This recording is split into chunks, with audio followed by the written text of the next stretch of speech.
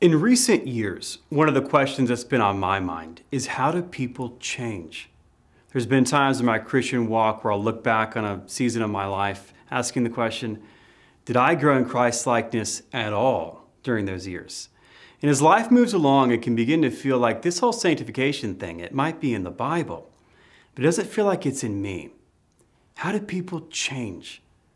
More importantly, how do we become more like Jesus? Any transformation of the self into the likeness of Christ that occurs in you and me, it happened because God did it and because he's committed to conforming you and I into the image of his son.